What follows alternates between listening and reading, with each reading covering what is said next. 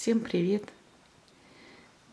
Вот решила я пересаживать своих новичков.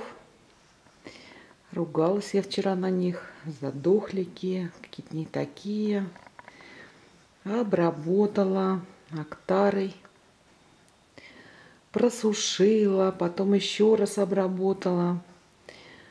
Надеюсь, что у меня все получится. Такой субстрат я решила применить. Это кора, серамис, уголь и пенопласт. Еще я добавлю мой любимый компасана. Начну я вот с белой красавицы или красавца фаленопсиса. По комментариям я поняла, что больше всех он понравился. Вот такая вот корневая Приступаю к посадке. Наверное, сам процесс снимать не буду. Покажу уже готовый вариант.